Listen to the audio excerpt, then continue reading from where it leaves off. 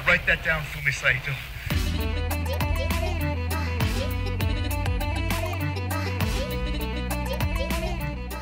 Write that down Write that. Write that. Write, with Fumi Saito and Justin Knipper. write that. Write that down, Fumi Saito. Write that. Write that down, Fumi Saito. Hello, patrons. Welcome back. I'm Justin Knipper, and I'm here with Fumi Saito, and this is Write That Down. And we also have a, a special guest uh, run-in appearance from Kiki the cat. Fumi-san, hello. Right. Hello from Tokyo. and hello from Kiki to all of you patrons out there. Right, listening. right. Oh, so demanding. yeah, before we were recording, uh, Kiki was really almost on the mic demanding your attention.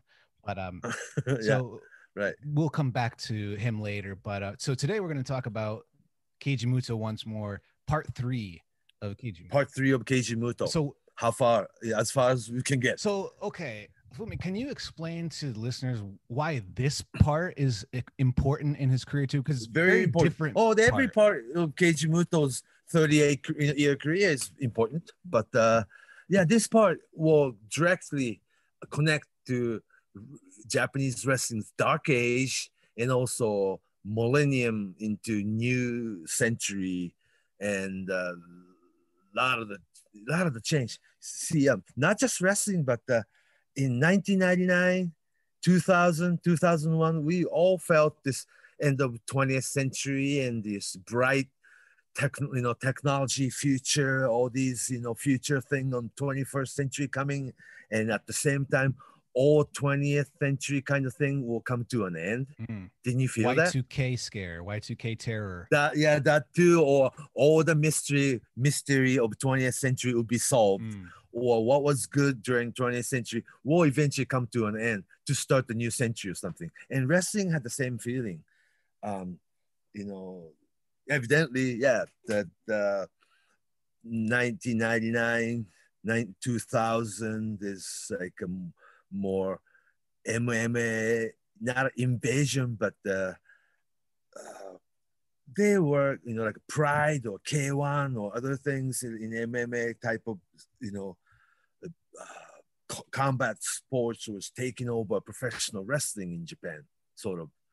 And uh, with this, what I what I just mentioned, you know, all these mystery will be solved. That uh, all the mystery, mystique, I guess, about professional wrestling that we had, you know, as a kid, you know, it's real, it's fake, it's real, fake, uh, uh, uh. And it's like, but you lived with it because you loved wrestling so much that kind of wish it was all real. But at the same time, I'm glad it's entertainment because you have your favorite superstars. But it, all these things almost never mattered because you always watched wrestling and followed wrestling and you loved it. But uh, this MMA, you know, MMA thing, for instance, Nobuhiko Takada, the superstar of UWF and UWFI, uh, challenging Rickson Gracie of Gracie Jiu Jitsu. He is the biggest kind of like an alien, you know, invader from other sport, combat sports, jiu-jitsu and MMA better than wrestling. And for non-wrestling fans, wrestling has always been fake, like a Santa Claus. You know, agree? You know, are you with yeah. me? Yeah. Hicks and Gracie uh, and, and bringing the Gracies to Japan really started to shift this uh, vibe that you were talking about, about the MMA, about uh, Pride and K1. From Yeah. there, for like ne- after the Shooto event in 95 with Mhm. Rickson Gracie and uh, Yoji Anjo got into it in uh, California. At the California dojo, Mhm. and uh, he beat the wrestler. You know, of, all wrestlers, the UWF Mhm. guys that are supposed to be your toughest and most legitimate professional wrestlers, right? And right, UWF was a force where they are trying to make professional wrestling into legitimate contest, and we all believed it, which was okay because it was that movement that you know was so huge that you know that made Pancrase, that uh, Akira Maeda's rings, and all these things you know was happening, and but still wrestling fans were watching it. But there was the one uh, weekly pro wrestling magazine cover that I think shocked a lot of people with Anjo's face on it. And his face was really messed up. It was purple and red and bloody. yeah, and yeah. it looked real. And they, they, Gracie Jiu Jitsu, the dojo people actually videotaped it, you know? That's what I hear, and I hear there is a, a videotape that Rickson Gracie. owns. Yeah, yeah, yeah, it's in Japan too. Yeah. It showed it at the Shooto dojo too after that. And it was not professionally taped, it was like home video. you camcorder. know? Yeah, Yeah, but they need, you know, the Gracie Dojo people, you know, needed to videotape it as evidence because you might get legit- legitimately sued or you might be suing each other, Mm, right? Especially So that time, it was more uncertain about what could happen in a fight. So Yeah, and uh, there was like a, you are not. We're going to have a closed door dojo fight, and no, you know, we agreed that you know that it's it's a fight, but you are not going to sue on on any injuries or uh, whatnot, right? So they videotaped it as evidence that the, that the fight took place and this is what happened and the guy left the dojo and they videotaped the whole thing as evidence but anyhow that yeah that really you know hurt wrestling business too but the the interest was though the wrestler you know in in japan professional wrestlers are toughest. I mean entertainer or not still legitimately tough people doing it you know? That was the whole concept of it. But uh, one by one you know um the Rickson Gracie against Takada, Rickson Gracie against Masakatsu Funaki, and in, uh, uh, other, you know, Tokyo, another Tokyo Dome fight, and uh, rings and K1 Pride things that Pride, you know, they use professional wrestlers, Mm. namely people like Yuji Nagata and Kendo Kashin, you know, the legitimate college wrestling champion turned to the professional wrestling superstar. And Nagata even had an IWGP heavyweight title as a superstar, Mm. right? Uh, but those are the guys who were sent by Inoki, of all people, uh, sent to those Pride or MMA event. And you, you, you remember Nagata having fight against people like a Federer or, you know, Cro Cop was just two day training. I just, hindsight, it's the craziest, you know, attempt, you know. But uh, Nagata was wow that he uh, he just took it. All right, and uh, this weekend I'm gonna have fight, and he just did it, you know.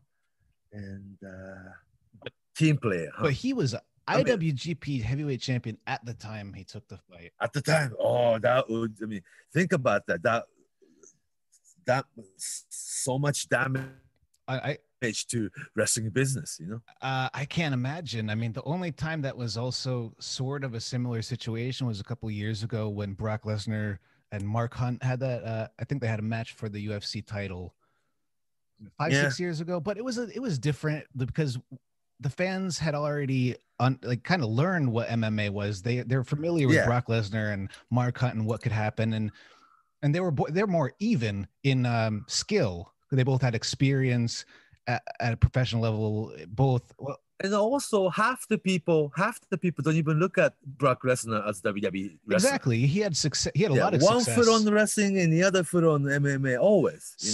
so, but that made him special.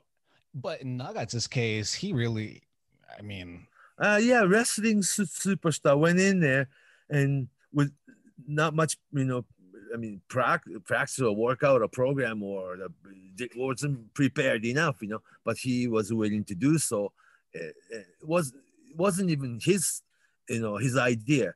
You know, Inoki just booked him, you know, like through New Japan, and then uh, he didn't, you know, make any noise. You know, okay, I'll do it. Like, team player is a good word to put it, but uh, just crazy idea in Millennium. You know, uh, all this- I I really felt that wrestling business and all the you know thing, all the good thing we ex- experienced in the 80s and 90s will come to an end or something. Is this end of wrestling business or what? And I was really scared. You know, yeah, because is this the end of wrestling as we know it?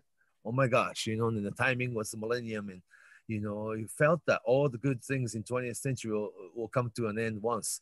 Then the new century starts or something. It was kind of almost symbolic. And uh, yeah, and uh, that was to year 2000, back to Keiji Muto.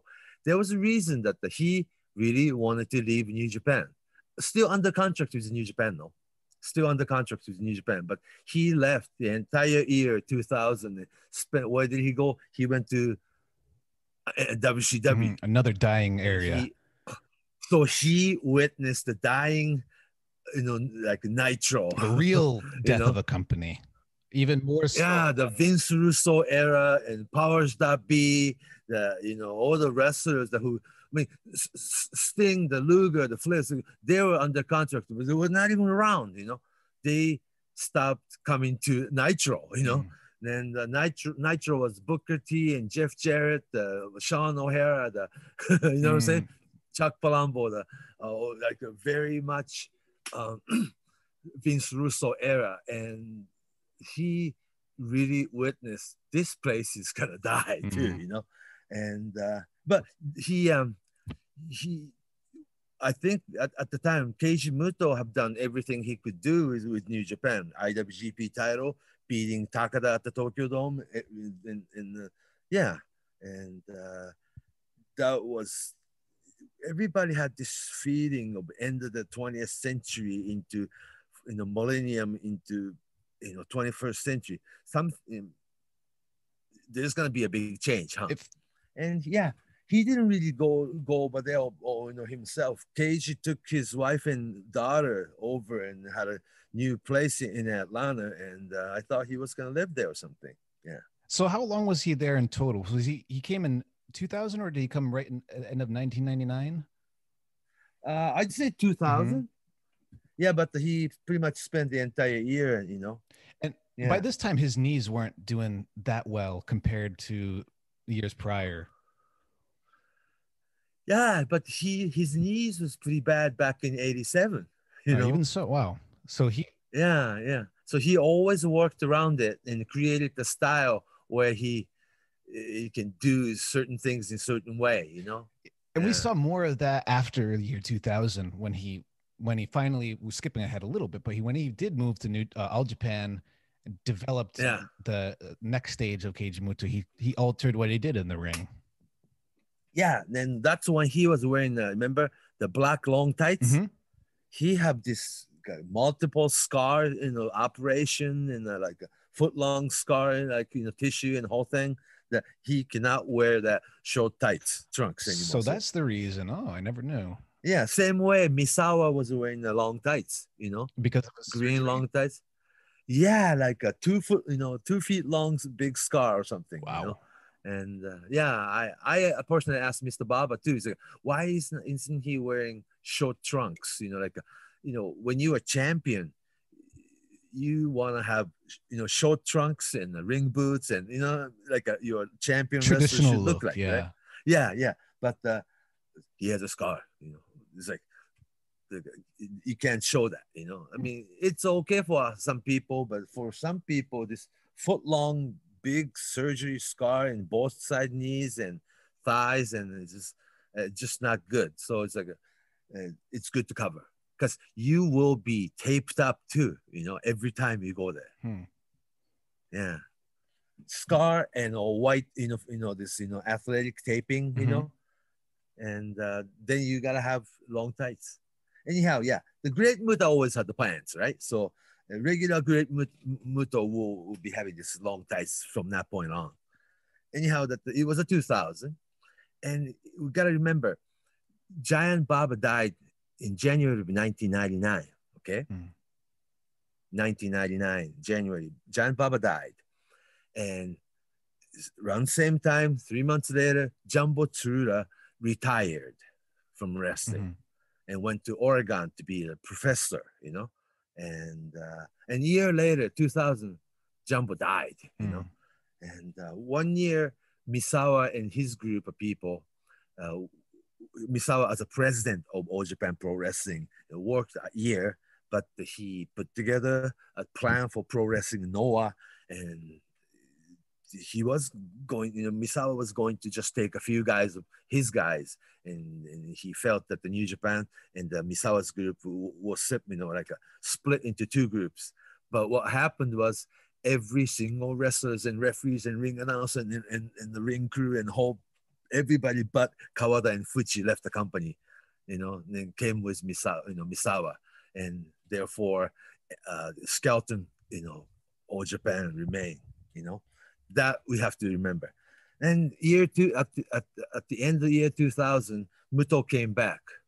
Um, he was trying to figure out, you know, uh, the first match back was Inoki Bom-Ba-Ye, that was half wrestling and half MMA show, MMA show at the end of the year. Remember? Mhm. And it wasn't New Japan. It wasn't All Japan. It was Inoki's independent. Right, his own. Yeah, I mean, it was Channel Four money. Yeah, big, big television production. Big, big, yeah, TV production. It's those few years. I mean, after that, and all the way to like 2005 or six. Um, at the end of you know uh, the New Year's Eve, you always have you know it's NHK's big singing festival, Kohaku, right? Then uh, Channel Four, Channel Six, Channel Eight, they all had MMA shows. Mm.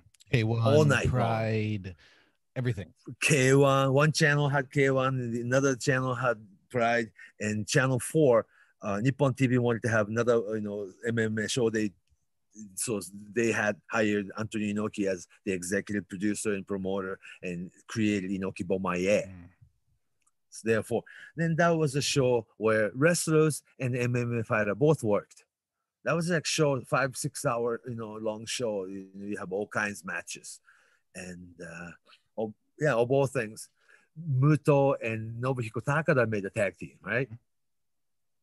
Against uh, Don Frye. Sha- Don Frye and Ken Shamrock. So it was kind of returning back to that um that idea of you know are we doing pro wrestling? Are we doing sh- shoot fighting, mixed martial arts? Oh, then Don Frye and Ken Shamrock is a perfect candidate to sort of know, to be deceiving. Exactly. In a way. Yeah, to be the best, you know what I'm saying? especially then. Yeah. And it, throw yeah, yeah, because and Nobuhiko Takada, yeah, Keiji Muto obviously just wrestling superstar, but if he wanted to be, he probably could have been big MMA fighter too. You know? Sure.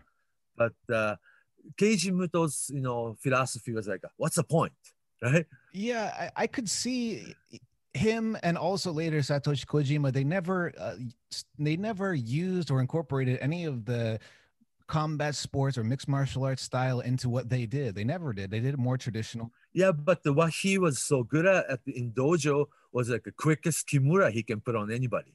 Really, and and he was a judo. He had a judo background going in. Yeah, judo like a third in national. Yeah. So he was special. Just he's kind of a, a star from way before. And also, yeah, before New Japan Wrestling, he got the chiropractor license. He knows people's bo- bone and muscles and tissues and joints. Mm. Yeah, yeah. So there it seems like there was a lot of for thought, Muto, yeah, thought, a lot of thought going into Yeah. his next move, his next choice. right. And year 2000 ended. So he came home, right? Mhm. 2001 starts. Mrs. Baba, after, you know, Misawa's group left and formed a new group, Pro Wrestling Noah, to be the next big major league of professional wrestling. Fine, but that Mrs. Baba, that's when she pretty much decided that uh, she is not going to give up Mm.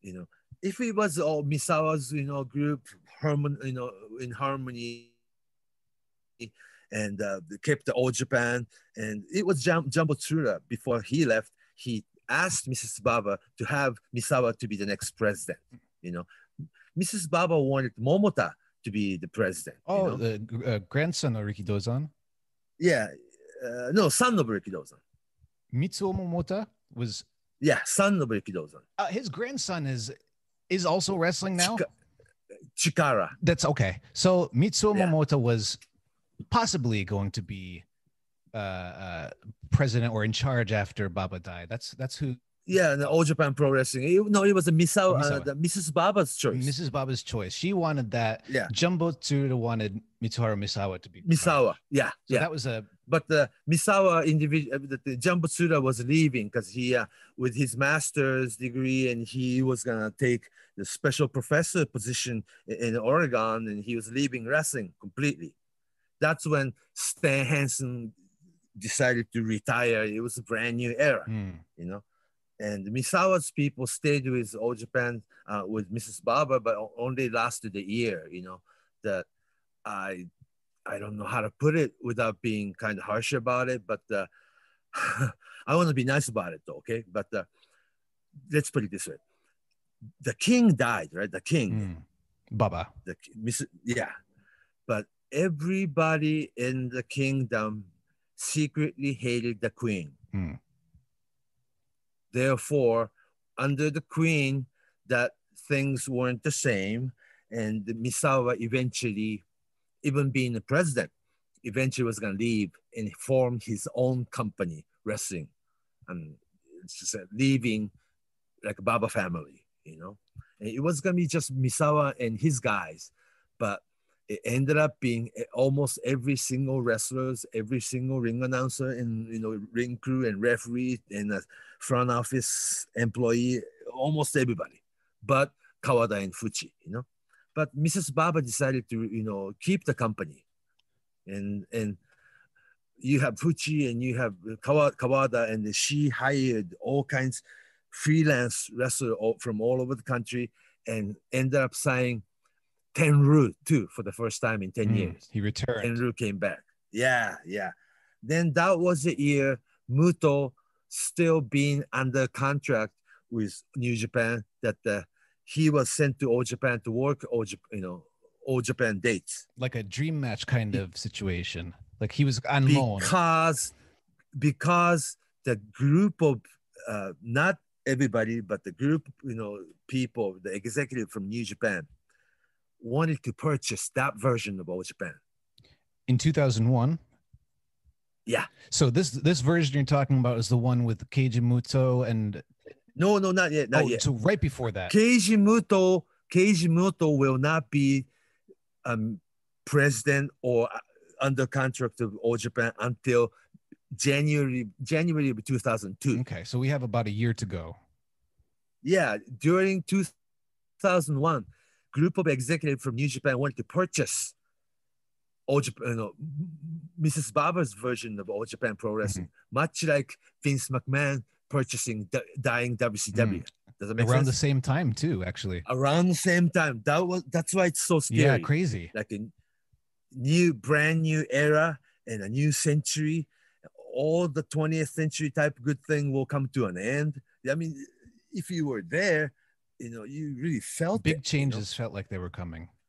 The yeah internet was a thing now, and it was it was part of what was going on with yeah. wrestling. Not- Not yeah too you, much. yeah, you had you had internet you know and then people had uh the, the my computer was uh windows millennium or 98 Oh, yeah, you like know XP or yeah, yeah. Yeah too. something like that Mm-hmm. yeah yeah changed few times since then but uh, yeah internet and the you know emails you know turn into everyday thing but not as much Mhm. no moving picture like you know today's you know streaming service movies Yeah, no New Japan like. World, no YouTube.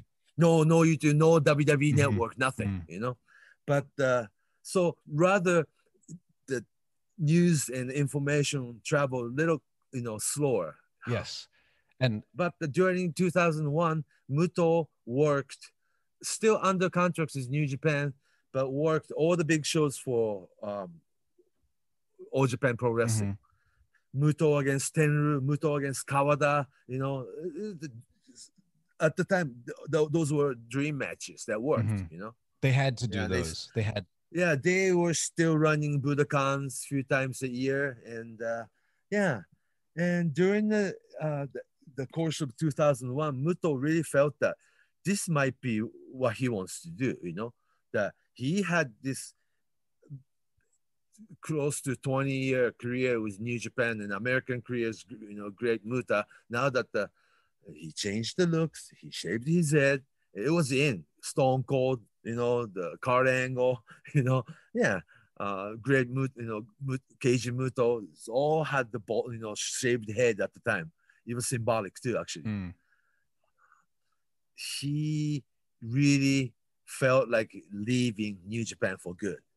And it was Hiroshi Hase who put together an idea of taking over the company. At the same time, just like I said you know, a few minutes ago, yeah, um, group of people, actually, uh, to be uh, exact, like um, his name was Nagash- Nagashima uh, from New Japan. He- They were executive. They wanted to purchase that uh, skeleton version of uh, Mrs. Baba, Motoko Baba's All Japan, like uh, much like your WCW purchase by Vince McMahon, and to be the New Japan brand of All Japan Pro Wrestling, Mm. owning two, yeah, two different company under the same um- umbrella. That was the idea, but it wasn't like the for everybody. It was he thought Muto thought it would not change anything. That just become under same New Japan umbrella, you know. And uh, no, he wanted to make this All Japan real separate from New Japan eh, cluster or something. And then Hiroshi Hase and Muto put together plans, and he really wanted to divide this to a different company. And uh, he really completely left New Japan since. And he never i mean he's returned in guest appearances but he has been on his own path since then pretty much past 20 years Yeah, since then. Yeah, yeah, yeah. So it's like this is the same. I mean, this is all Japan Pro Wrestling. See, coming from New Japan School of Wrestling, all Japan is like so far away, so far away because they never mingled. You know, really different philosophy, different channel. It's almost like almost different genre. It's like know, marvel and Misawa. dc comics two different universes Oh, but yeah, I guess so. Yeah, for non-wrestling fans, they're all the same. But but for anybody who know anything at all about wrestling, it's like American League and National League, or yeah, yeah, like you just said, you know, Marvel comic and DC comic. Mm. It looks similar, but it's a two different thing, and it tasted different. They promote and present differently, and it was after all Inoki type of professional wrestling and Baba style professional wrestling you know, Jumbo Tsuruta type of professional wrestling to uh, Fujinami Choshu style professional wrestling. They were so different. But Muto actually is on his own league, huh? Know? he's in the the kind of mixed stage he he went he went away and learned a lot more from the world and came back and i think added a lot of different elements to what we see in current japanese wrestling Yeah, because he made, you know, not just one trip. But remember, he had 1985, 1986, 1987 trip to Florida Mhm. to be the Black Ninja. Mhm. He spent a year there. Then came back to New Japan as a Space Lone Wolf and spent another year or so, you know, almost mid card babyface. But at the time, there was a New Japan group. Uh, Within the New Japan, there was a New Japan Seikigun, eh, UWF group, Riki Choshu's group, an American group. You have like a 50, 60 guys in the dressing room. And Sakaguchi decided to send Muto back to America right? Mm. and yeah, then that's the time he went to Puerto Rico and Dallas and signed with Crockett, and Crockett became WCW, and uh, he was great Muta, working Starcade against people like Flair and Sting and Luger, and then he became star. So two big trips. Then the the 2000, he spent another year in America, witnessing dying days of, you know, WCW and WCW Nitro, all the political, you know, scene that he witnessed, more so than the actual wrestling. But uh, that's when he decided to be more of a producer type. Huh?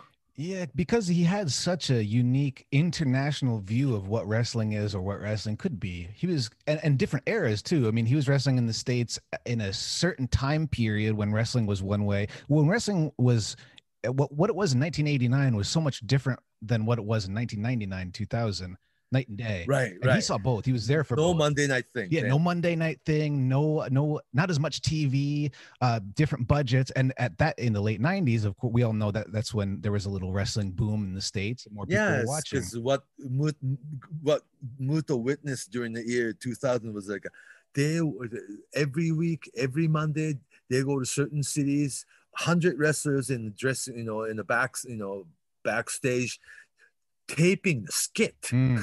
you know. yeah, So he must have had such a different idea or perspective than his coworkers and colleagues in Japan at the time, because I mean, Japan was going through its own. The wrestling industry was going through its own growing pains and growing out. I mean, between and we we mentioned Noah. We mentioned and the MMA invasion. MMA, but yeah. there was also Zero One. There were a lot of other like Choshu did his thing too. So everything was really no, that's like a 2002, yeah. 2003. th- around We're we're heading Muto's- towards that era, Yeah, but yeah. things were yeah. falling apart. So New Japan is breaking up to several groups too.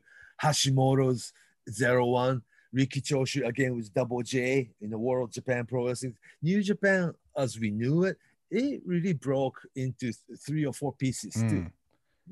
and Yeah, it, it didn't have the impact it had like it had in the 90s because there was Right. no number one star people were still looking at inoki i think as the main guy or and somebody like that. Inoki retired in '98, but uh, remained in public guys oh, forever. he was on know. all the time that yeah and they- that is very that almost killed the business too because people think Inoki is a bigger star than the you know the current superstars right always will be but he's not working in the ring Mm. Eh, that would hurt the actual business and it seemed to and, and like we said at the beginning of the show we're talking about yuji nagata and, and kendo kashin they were his sacrifices from wrestling to Yeah. because Antonio Inoki decided to side with MMA Yeah. instead of he wrestling world. sacrificed them to mma and because the that the Inoki's philosophy was, I don't know about other people, you know, but my wrestling was real in my days. Oh my gosh. yeah but there was no fedor in your days either mr inoki or Yeah, but Mr. Inoki had actual legitimate fight True. against Muhammad Ali. possibly the first mma fight Yeah, yeah. Now hindsight, people go back to that as a root of MMA, huh? Mm. you know. So a lot, that's a lot of research to be made, and you you can study Inoki fight forever. There's a whole you book know? that was written on it in English. Yeah, but books ha- books have been written over here in Japan too. Not just one, but quite a few. So it's a big And- to him to Inoki. It was a big uh, idea philosophy. Like if you if you can't fight like I did, then you know. Yeah, because that's how he became, you know, equal to Baba. You know, when Inoki and Baba were together, Giant Baba number one and Inoki clearly number two person.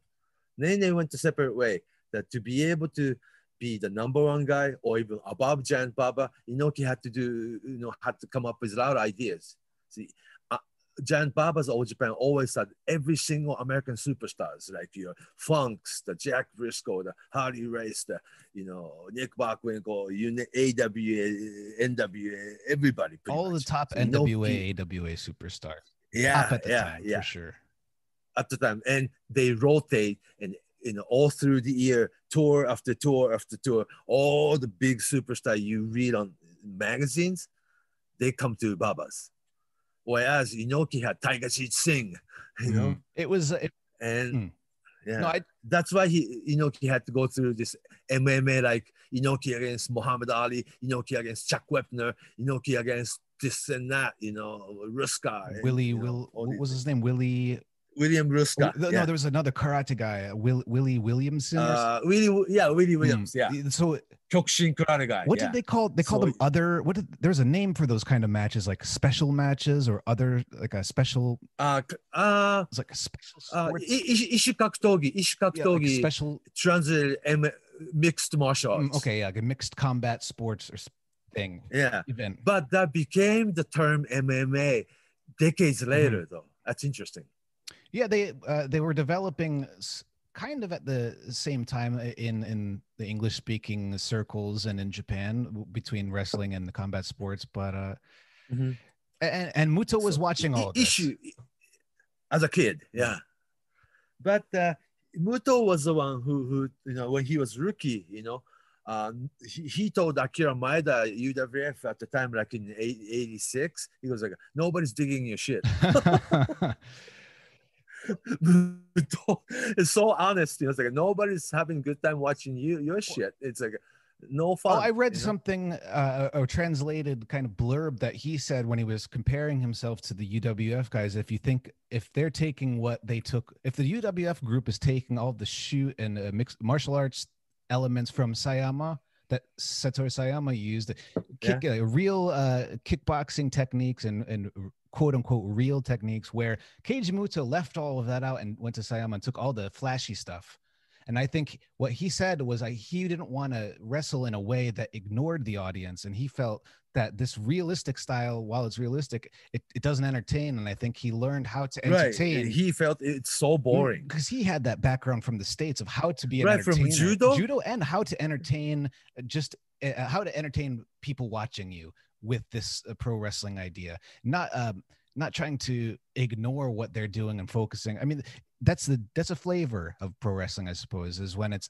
Yeah, yeah, and also Muto in his own mind that the, he he can entertain because he's very gifted and talented, and, and he doesn't. I mean, he doesn't really, you know, just him, not the whole group of or, or whole his generation of people. Muto himself individually can handle anything. I- you know yeah, I I think his his partner always wasn't always it wasn't just the person or people in the ring, but he's so dependent on how the crowd reacted to him and how the crowd reacted to what was going on. He would really base what Yeah. he did, especially in All Japan, where he he did less and less uh, stuff. He did less movement, but he had great matches still in just different ways. Yeah, yeah, yeah. So he felt that he. Uh, I asked, you know, I had an interview with him around the th- same time too. That the that the whole motivation was that he didn't f- feel that that the, he was needed, you know, in New Japan circle. And while he was working All Japan big shows during the year 2000, he really felt that these people needed me. Because they had nothing at the point because everyone had left, right? Yeah, so it's like it was a, it feel so much better to be needed and wanted and welcomed, Mm. and that the, I've got to go to that ring, and it's like oh wow, there's nothing he could do anything anymore with New Japan Group, you know. So he really was leaning towards working All Japan, All Japan, and at the same time, his old friend, politician Hiroshi Hiroshi Hase, put together all the details and brought to Mrs. Baba. And Mrs. Baba said, "Great, great. You know, it's you know, he's coming, and, it's uh, really, really leaving." See, New Japan always try to trick you, so she didn't trust the idea first, you know. But uh, they gave, you know, had a real, this like a closed door meeting that the, is this for real?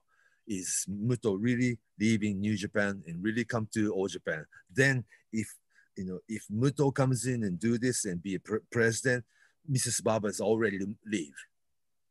And Leave. I mean, leave wrestling for good. Because Mrs. Baba was never wrestling people. Mrs. Baba was never wrestling fan. He was Mrs. Baba. That's why she spent 30 years doing it, you know. But now Baba's gone, and, and uh, but she didn't want to, you know, just leave all Japan as it is. But now that the somebody like Keiji Muto really leaving New Japan and be part of All Japan, and he's taking a company over, that the, she's ready to retire.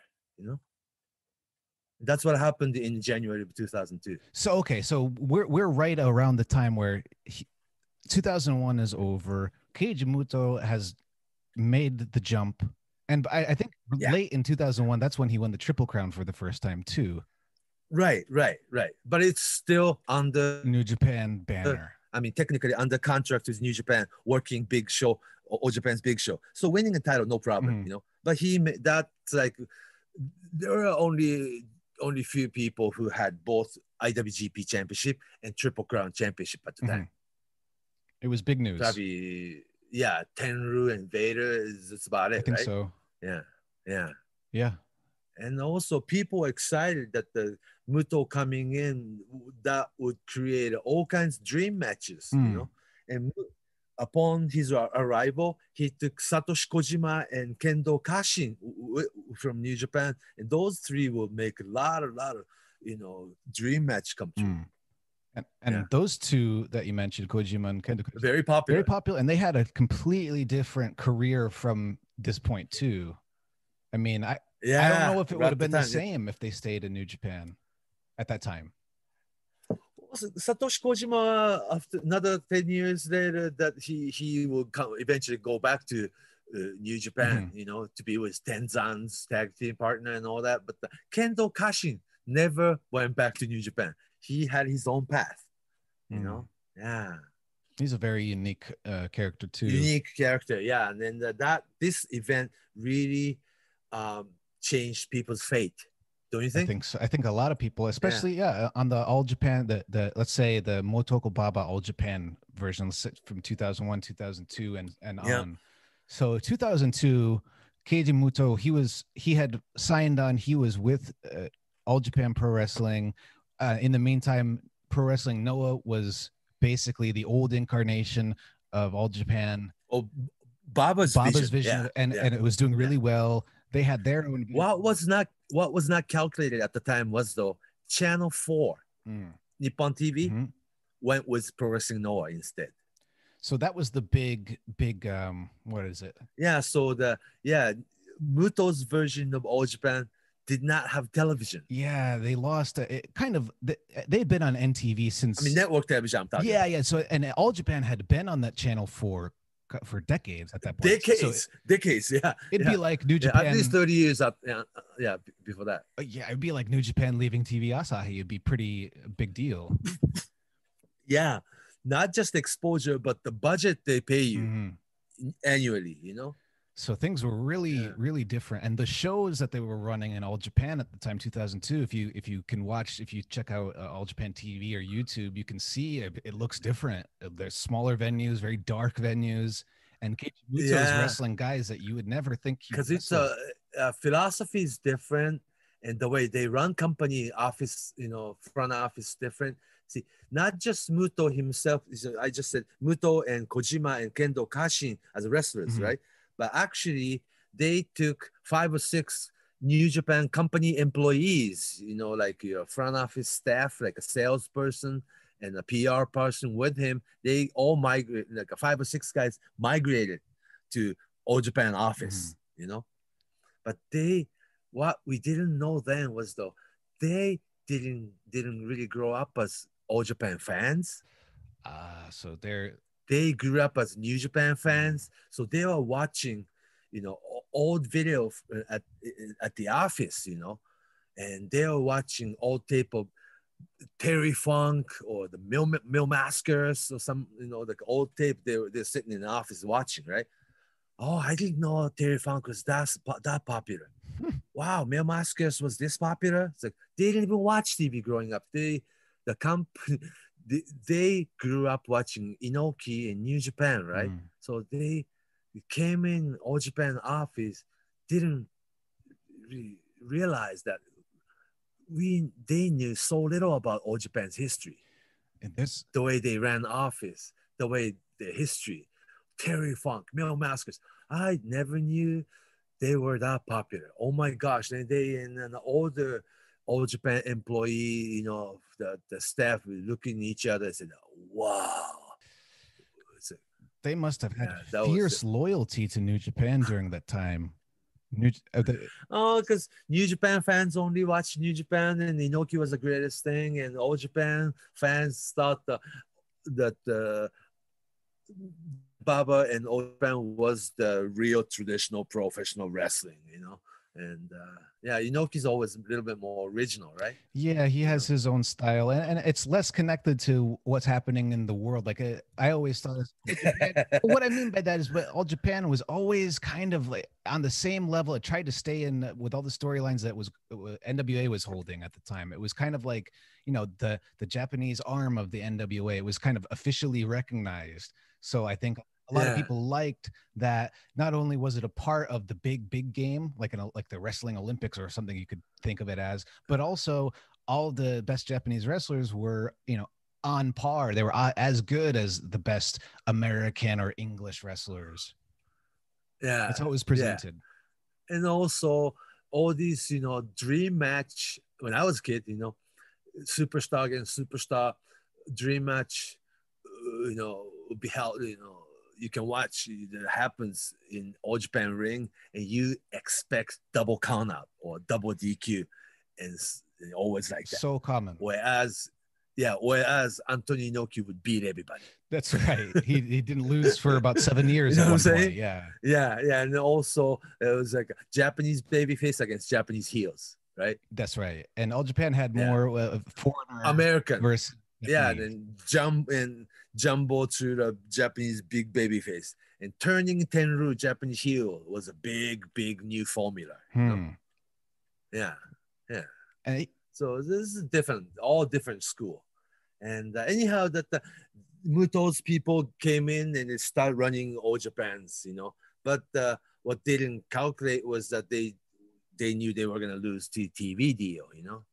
And uh, yeah, so so it was part of the dark age too, you know. Yeah, and, and dark age is an appropriate term because if you do, like I said earlier, if you do watch some of these shows, there was there was no light. They're so dark and dingy, and uh, there weren't as many people as we're used to. I mean, only a couple of years ago, All Japan was at the Budokan, and and I I was watching a few matches uh, over the week preparing for this, and he was having matches with, you know, you wouldn't think he he was having matches with George Hines, you know, Jackie Fulton, and he's having matches with Bart Gunn, and guys, Yeah. wrestlers that you you wouldn't assume that you might see him wrestle. The top talent. Yeah, or you might see him wrestle these guys in WCW, but yeah. it was yeah. different. So I think a lot of people, and myself, included- American wrestlers in Japanese market, but they did bring in people like you know Rosey and Mhm. uh, it wasn't called Jamal. Umaga, but the, you know, yeah, yeah, and uh, Jamal, yeah, right. uh, Dr. and, Death, uh, Steve Williams was there, but um, Yeah, right, right. But he was getting sick Yeah, then, though. Already. having short matches. Yeah, yeah, and also they brought in Goldberg. They went to borrow some money from Mrs. Baba again, and to bring in people like Goldberg, you know. But Goldberg wasn't solution, you know. I mean, like he's like almost retired, you know, right between WCW and WWE. You know, Goldberg was freelancing, and uh, they spent a ridiculous amount of money to bring him in. You know, like hundred grand a match or something, and you know, but uh, that didn't really help, you know, all that much. Yeah, Yeah. because there was also so much more going on than before. It wasn't just All Japan and New Japan. By 2002 and into 2003, we started getting then, more uh, then more options. Muto came up with the formula that uh, Muto's All Japan against Hashimoto's Zero One Mhm. Company against company program. So who was in Zero One when they started out at the time with 2003 with uh, Hashimoto's group? Hashimoto, Mhm. So he took a few, Uh, few guys too with him from New Japan. yeah, uh, Shinjiro Otani, Mm-hmm. uh, Tats, Tatsuhito Takaiwa, Junior and uh, yeah, Takaiwa and Shinjiro Otani, and quite a few in, uh, in, independent freelancers, Mm-hmm. and also Fujiwara was working, you know, dates at the time, you know, and Takai, you know, somebody like you know, Takayama will take, you know, pick up a date. Uh, somebody like Minoru Suzuki will work a date or two, you know, And they also had access to very Japanese oriented. NWA title too, the NW old NWA belt. Oh, right. Now Naoya Ogawa and the the, the New Jersey version of NWA, Yeah. right? Yeah, that's right. Yeah, yeah.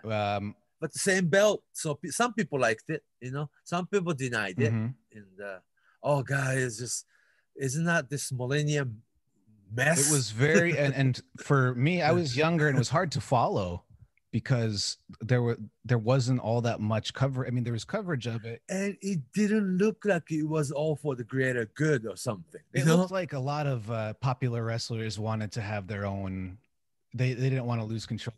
yeah and then ended up being counterproductive Mm-hmm. almost you know how many wrestling companies are there you know and uh yeah and Riki Choshu leaving New Japan and uh, created Double J World Japan Pro Wrestling just for a year and took Kensuke Sasaki and Hiroshi Hase worked date there uh, Kenzo you know Mhm. Kenzo uh, Suzuki. yeah. yeah. And uh, from All Japan, they took uh, uh, Omori, you know, Takao Mm. Omori, and they put together a little group. And also, the main event was Riki Choshu against aged Tenryu, you know, and, Mm. and the booker Masa Saito. It's like, how many groups did, did, did, did, did New Japan had split into, you know? It was hard for fans to follow, I think, and they were forced to choose. And at the same time, you are watching K1 and Pride. yeah, and that was what was the popular stuff. and they are stealing the popularity, you know, because basically, I don't believe there was K1 fans. I don't believe there was MMA or Pride fans. Wrestling fans moved into that, you know, and some of the wrestling fans never came back. Yeah, there were so know, many people. because they found the answer. They found the answer. They always wished wrestling was real for them. It wasn't real for them anymore. Oh, it's always real for me to this day. And I love wrestling the best. You know, I mean, I think you feel the same way. You know, we were never MMA fan, but when wrestler worked MMA show, you had to watch it. You know, Yeah, because there were a lot of people that came that didn't ever like wrestling that came and lo- began uh, going to K1 shows and going to Pride shows and talking about it, and it was almost like a like a trend for a little while yeah, among time, people yeah, that yeah. just you know would never even bring up pro wrestling in their life, like. You know, uh, they, they remember Pride or they remember K1 on TV for some reason. It was that big. It was that culturally. It, it was more like your Las Vegas feeling, right? Yeah, or like uh, I don't know, Super Bowl. Michael Buffer type. yeah, Yeah, like, or like a big boxing fight, like uh in the yeah, 90s, something like that. Very. That's why I said very Las Vegas. Las like. Vegas, yeah, very Atlantic City, kind of just one night Yeah. of uh And enjoyment. in fact, they brought in people like Michael Buffer just to say that the what's a let's get ready to rumble. Yeah, yeah. Probably paid him a lot of money too. you know, yeah, and uh, it's all like a very television, you know, attitude. You know, And, and Yeah. speaking of television attitude, this was also around the time I think within this year or the next is when WWE really kind of planted their foot down in in Japan through TV. Oh, it was partially because of uh, Sky Perfect TV, uh, that the new satellite channel with 200 different channels. The satellite dish, you put it up in your. Did you when you lived in Japan? Did you have that uh, satellite dish up in, in your you know balcony or No, I would have to have bought it. I had buy it? I had the just the kind of TV that was I mean, just to get for American audience, to the, all the listeners out there to understand, in Japan, in Japan. Satellite dish to put it in outside your apartment and uh, yeah, to receive your satellite channel dish. It's thing. the only way you can watch a lot of pro wrestling, actually, because like we were saying, like the Inoki's show was on NTV and TV Asahi shows New Japan. All of those big channels that we talked about, like Fuji TV, they're on. It's kind of like everybody has those channels. If you have a TV, plug right, into right, the regular TV. channel, network channels. So right. th- that's kind of different from say the states, where like states have regulations and they're federal regulations, and you gotta. You can't. You can't just yeah, over here too, the zoning law. That's why Japan was never big on cable. You know, Yeah, and I think the cable you have to actually have this cable hooked into your building. The way you know Japanese houses are built in a small neighborhood and smaller alleys and, uh, all the telephone poles and all this cable, actual cable is like impossible in Tokyo. Yeah, and if you live in Tokyo, you can easily just go 15, 20, 30 minutes on the train and go to the venue and check out the show for Yeah, I guess right, right, right. But uh, this satellite dish with Sky Perfect TVs, 200, 300 different channel came in, and people bought it for for movie channels and you know your MTV or your all kinds of sports channel. And one of them, J Sports, had that all the WWE program already in it with Japanese subtitles, like movies. You know, they had uh, not just Monday Night Raw, you know, Mon- Monday Night Raw, but uh, you had your uh, new, news program SmackDown. That was new at the time, Mhm. right? And they had that. Uh, what, what's the third show like? Saturday Night Shotgun Oh, or uh, around or that time, with Velocity or Jacked or Heat, Velocity. Yeah. Sunday Night What's Heat, the other one? Sunday Night Heat.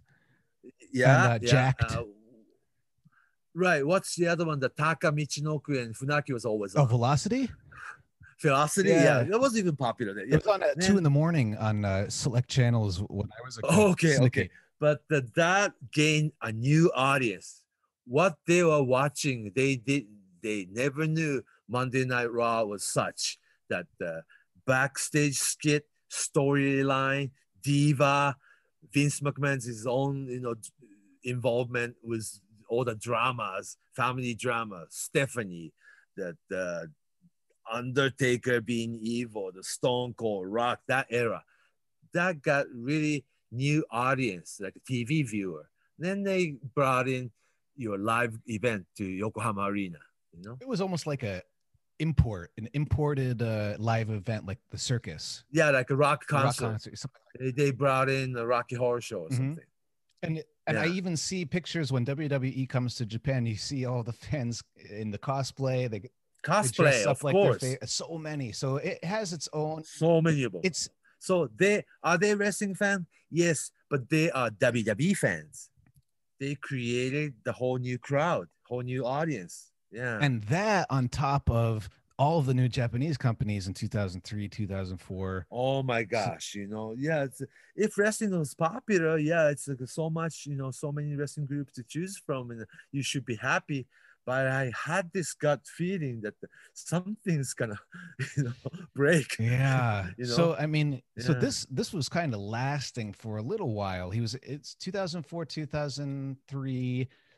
Muto had established his So, All yeah, Japan. so it, today we're talking about you know Keiji Muto and his version of All Japan. They really struggled, but they, you know, they had to do what they had to do. You know, this is All Japan, this is Keiji Muto running a company and still be still being top star, and you're running one the whole year schedule. You know, you have your spring tour, you still have champion carnival, you still have to carry your triple crown title, you have to have some Americans. You know what Mhm. I'm saying? Yeah. And they eventually, uh, within these few years, they did get on that satellite channel Gaora, Gaora, but yeah. it's much smaller. Gaora is not all that. Oh God, It's- they would not pay you the fee, like annual fee. Uh, other network channel will you know pay you. it's kind of like if patrons are listening now, it's like MLW on Fubi, Fubo Sports or whatever it's called. I mean, it's it's Ah, it's okay. you know it's got money, it's big, but it's not NBC, it's not USA, it's not TNT, like not even close. So it's Right, scale is right, so right. much different in all Japan at this time now too. So Yeah. we And we have to, yeah, the, the, we have to remind the our listeners that there is no moving picture in, in, in internet at the time. Right. It's not it's not like we could Yeah. just hop on the internet. I mean, what I would do, I mean, I had uh the, we had cable internet by this time or in the 2000s, but you you'd still if you wanted to see it, you have to maybe wait at least a month and a half to get the tape. Yeah, I mean, I would I would trade tapes with certain people where you could buy TV, but the TV shows would be third or fourth generation. There'd be so they would so deviated by the time they got to Yeah, yeah. America. So so not just wrestling, but a lot of changes, like a drastic change life. in media. That the Life yeah, life, changes. yeah. So we went through that at the time.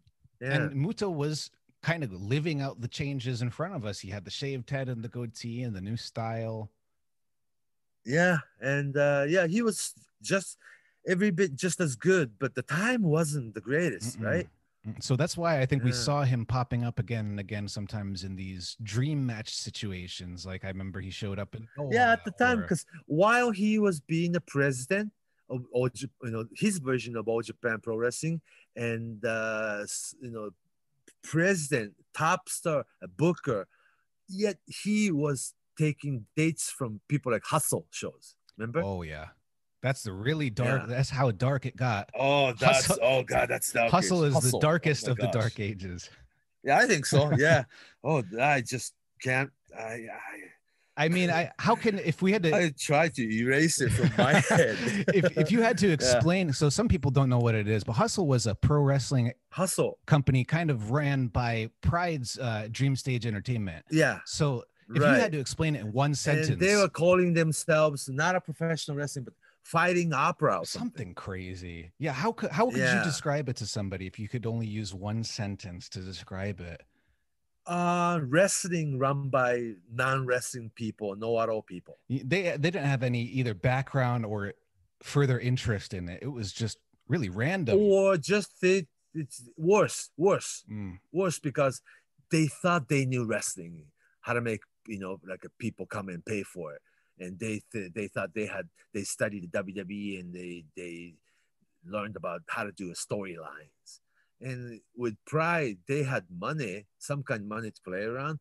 They were able to bring in people like Goldberg, Nash, Hall, Cactus Jack, Mick Foley, and Steiner Brothers, on top of your at the time very big Japanese, you know, big in Japan superstar like uh, Bob Sapp. or, or even Japanese stars like Hashimoto and Naoyaga. Right. Yeah, it's sad enough that the, they were hurting, so they would take a day, you know booking from Hustle. They would probably pay you per match better than your own company. Something wrong with it, right? With Yeah, it was it was hard to, and, and even Kawada would show up and he would be doing comedy, Kawada would show up as a dangerous K. Yeah. Yeah. do the dance, and Yeah. Takada had the M Bison. Yes, it's so it's like uh, you somebody's selling their soul. It really, it just felt, it, It felt like it it. felt like what's Oh, God. happening, what happened.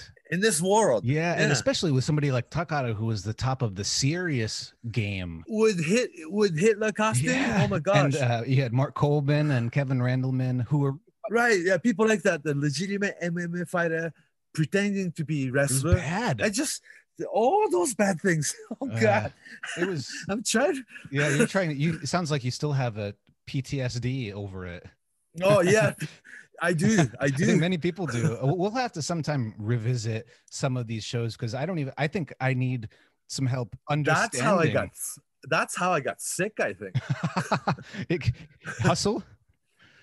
Yeah, well, the, the, around the time and what was happening in the wrestling world, and I thought it was this. Is, this is going to be the end of professional wrestling. Yeah, I mean, 2000. year 2007. My God, oh, you know, yeah. Karl Gotch died, you know, and then my friend Mike Awesome died, Bam Bam Bigelow died, and Chris Benoit thing happened. It was bad time. It just and from 2005 to that. Yeah, and then I went to the doctor and they told me I have I had cancer.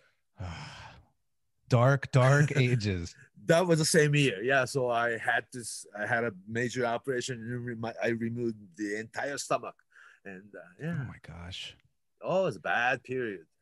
But we made it out. We all made it out. Muto and all. I think so. Oh, great, great. because yeah, so okay so let's talk a little bit about 2005 2007 ish so that was it was nothing more happened wrestling survived. it survived yeah, Yeah. it, di- wasn't like 2000 where there were it was like an earthquake it was everything was shifting you know the the Yeah. world was pangea was breaking apart into And also, yeah, we were all you know ready to close 20th century, new millennium, and the, the bright 21st century was going to happen, Mm. right? but not not immediately Not immediately. so oh so but around this time is also when keiji muto again pulled out and started his own project again wrestle one yeah, that Wrestle One was like a, another hustle done by K1. No, right which is why it's hustle was came- run mhm. by Pride people, Mhm. right? Wrestle One was another wrestling show run by K1 people. The same idea. You know, they thought they could take over, you know, like MMA people with money was popular at the time. They thought they can buy professional wrestling, you know. Mhm.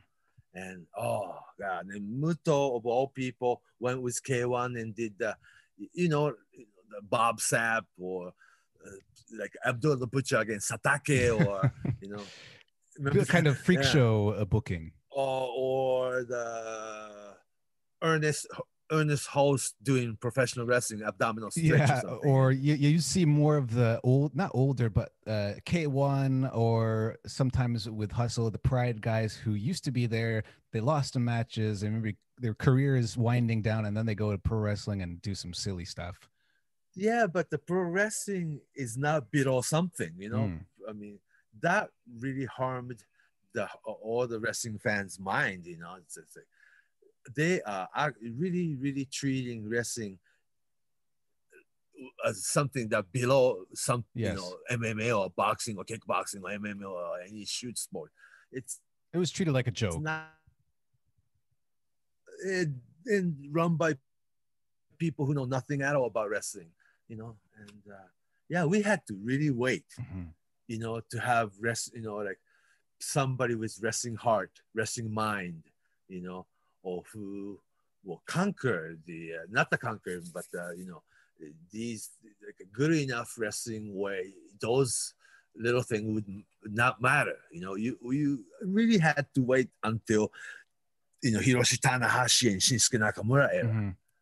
Sort of. Coming close to, and around this time, I think 2008 was when uh, Keiji Muto actually had an All Japan match with a young Hiroshi Tanahashi when he visited. Yeah, yeah. Tanahashi was kind of the heel, uh, visiting heel. And Tanahashi was sent to All Japan to participate in Champions Carnival.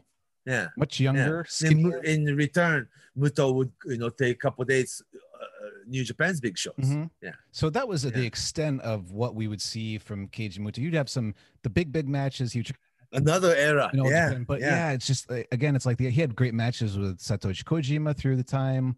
Who Kojima became his own kind of big star in that Mhm, way. mhm. But um, and, and then so let's talk a little more about Wrestle One. In the initial days, how was the reception to Muto's kind of project with K1? Well, what's so great about Muto is the, the he could come in and work hustle. He could come in and work Wrestle One. He can still work All Japan. What he does is just about the same. Mhm.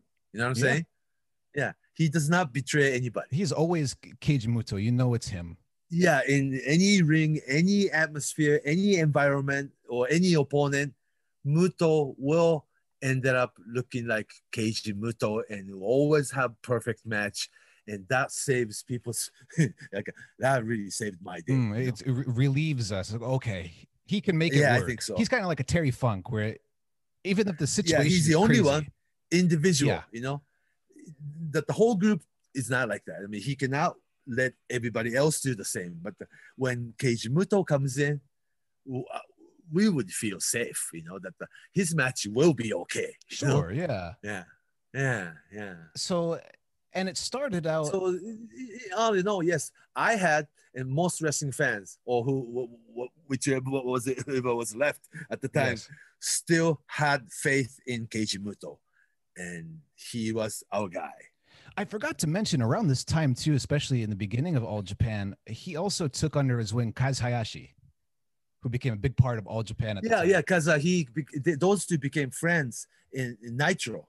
Right, because he was working af- in uh, WCW yeah, at the time. Kaz Hayashi himself was part of the Michinoku Pro Wrestling, you know. Shiryu. and yeah, yeah, and he left and he to be on his own. Same time, Taka Michinoku left, you know, Michinoku Pro, Michinoku Pro Wrestling, WWF. and they went to Mexico, went to WWE or WCW, and yeah, they try to have their own, you know, like a, pursue their own destiny. And and Kaz Hayashi and Muto met in WCW, and then the Muto, you know, brought him over. It's like, well, you're part of this group, you know.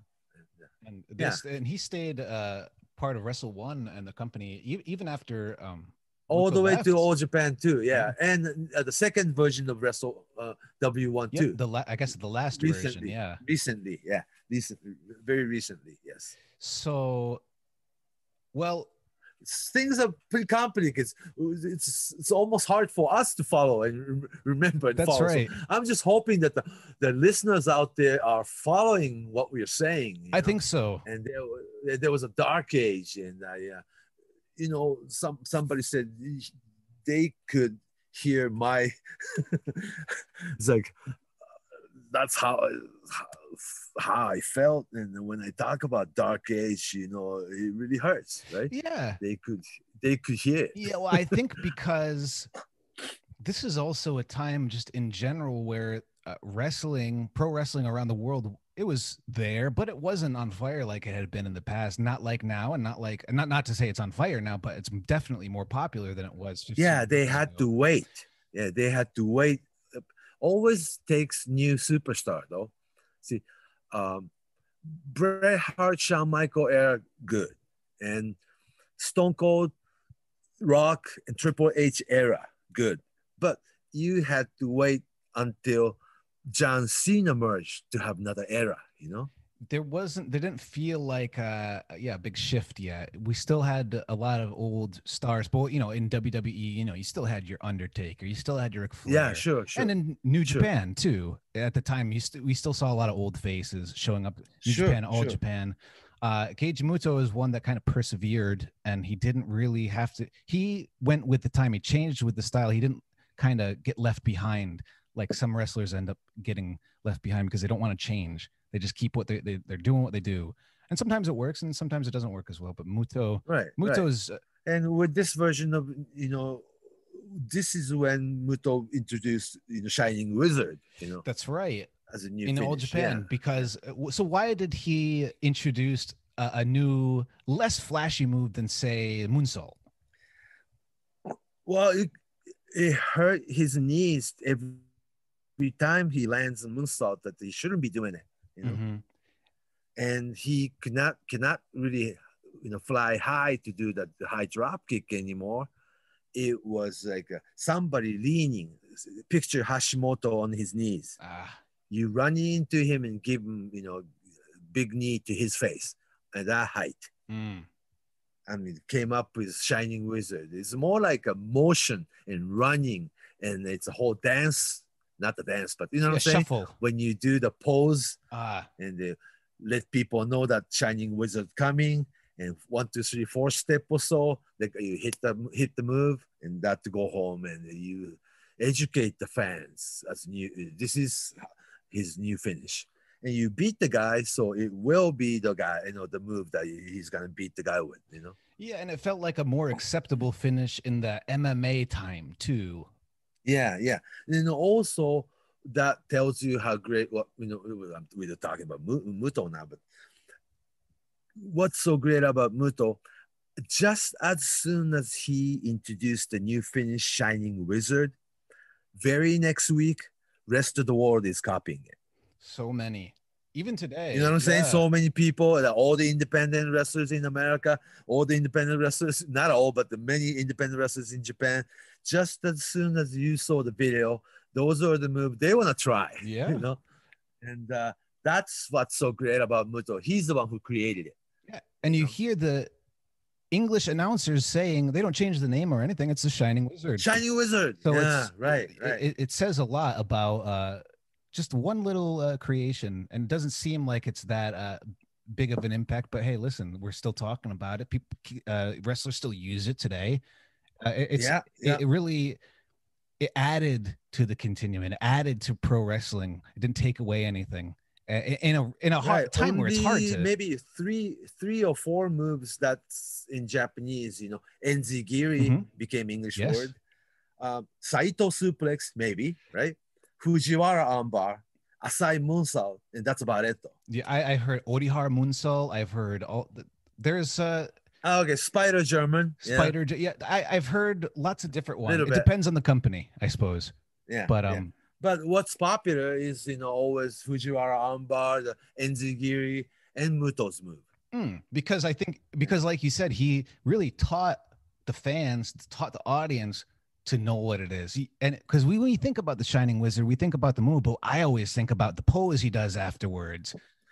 Pro Right. wrestler love Of course, You the whole the whole The routine, whole whole, whole like routine people's elbow, or people. Yeah, right, same. right. Uh, you know what? Peep rocks people's elbow came from um, Muto's driving elbow. really, Yeah, the Rock Dwayne Johnson himself told Funaki about it, wow. and I heard directly from Funaki, Sho Funaki. Yeah, I could Where see did that. this- yeah. yeah. Where did this, you know, people's elbow come from? Ro- young Dwayne Johnson, Rock, Rocky, he watched Japanese video and he always regret that there was he wanted to have a tour, regular tour, either New Japan or All Japan. The time wasn't that; it was Nitro, uh, that the Monday Night Raw and SmackDown era. That there is no really one individual wrestler touring to Japanese company anymore, right? Yeah. He wanted to work either All Japan or New Japan, just one tour, you know, and Rock never did. Wow.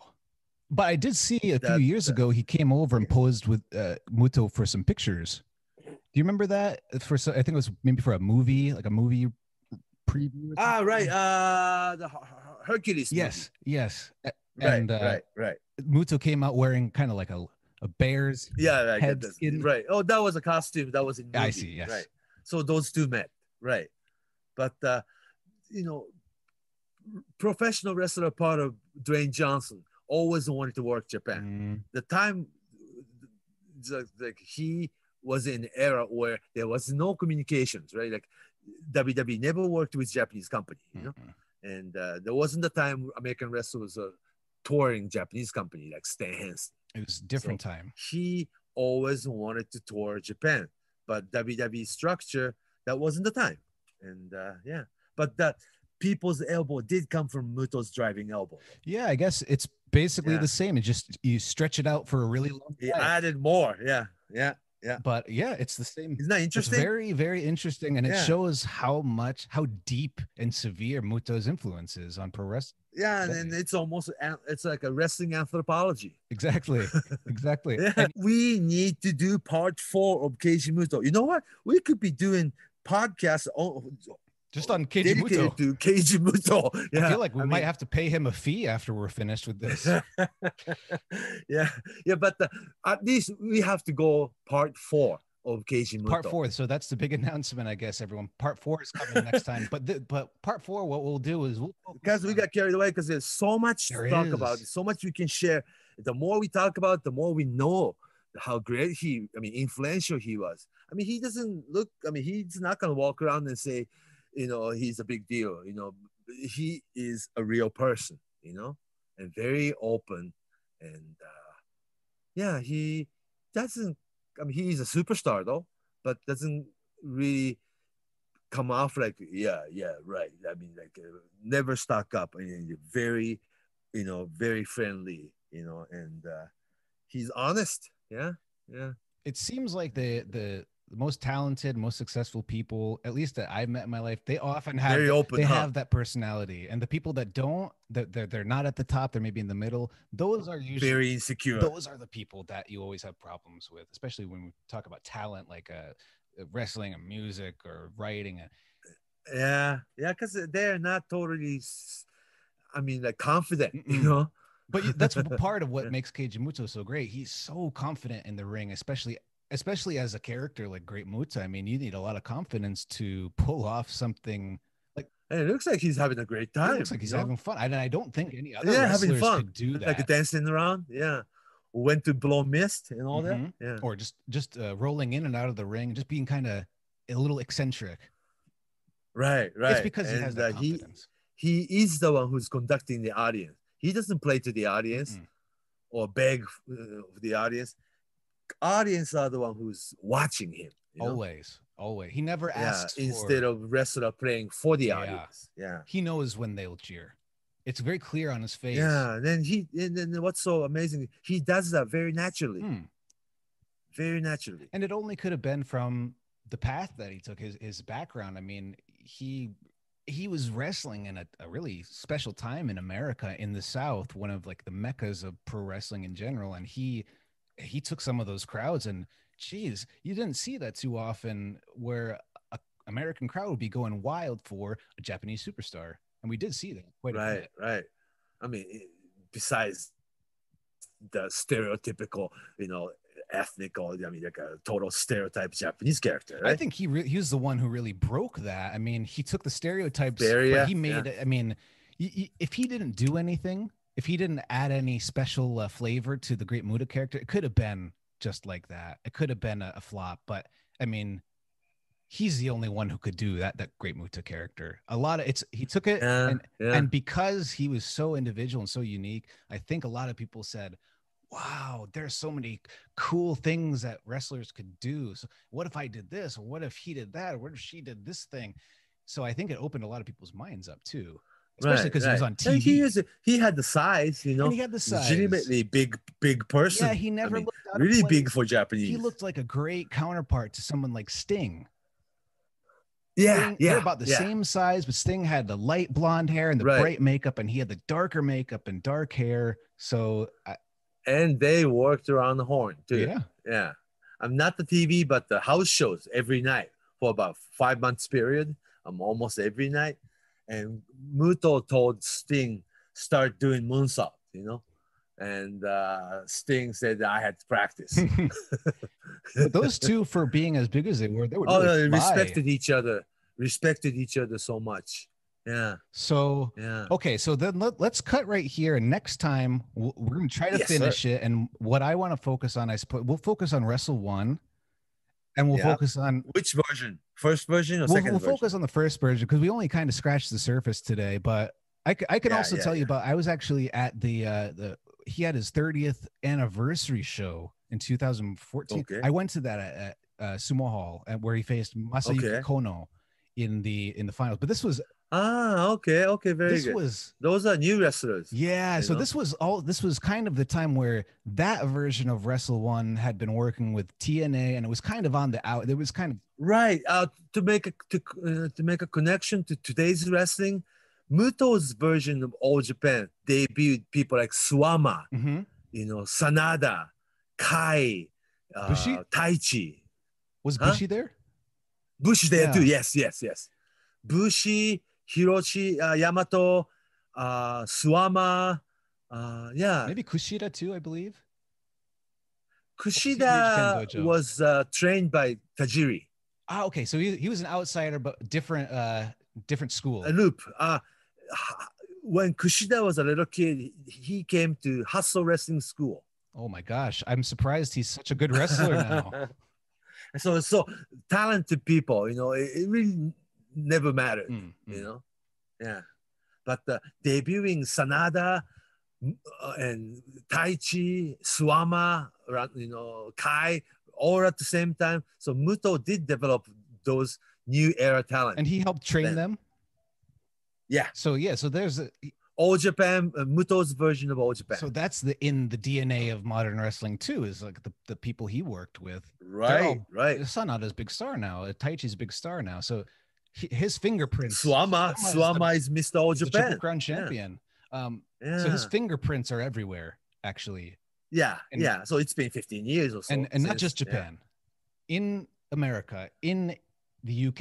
I think like his influence Right. is, is wide reaching. the generations of wrestlers who grew up watching, grew up idolizing Muto. Yeah, he, I believe and that. I think he was one of the first big Japanese TV wrestling stars, at least in North America. I mean, he, he had TV. He was on TV a lot, and you don't forget a face like that. I mean, that's pretty memorable, especially if you're a child. right, right, right. It's a little different era too, you know, Mm. because back in 1964, Giant Baba headlined Madison Square Garden against Bruno Sammartino. You know, so those were the different era. So TV, cable TV, satellite, all the technologies.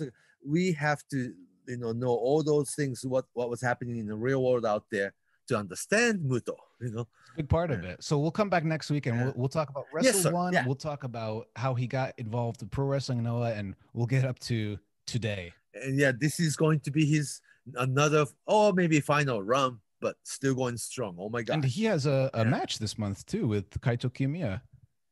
yeah, So yeah. w- eh, by the time we finish, I'm sure that match will happen or it will stay on. Oh, I, okay, I hope okay. we can maybe Yeah. finish and, and that'll be the day. I don't I don't remember what day that's on, but that'll be coming up soon. So it's Muto month here at Game Media Yeah, Patreon. yeah. So Well, we yeah, at least we gotta have another uh, part four. part four. Yeah, another episode of yeah. We'll wrap up Yeah, with- I couldn't finish it. Sorry no, about that. no, no. It's of course. I got carried no, away. no, there's just actually there's so much, and we had to talk through. I think the dark ages are really important to talk about, and we'll probably talk about them more. as- Oh yeah, and the Dark Age of Wrestling, it was I had to go through my own experience. Oh my Yes. god, I got a stomach ache. we'll have to someday talk about hustle when you're feeling a little better.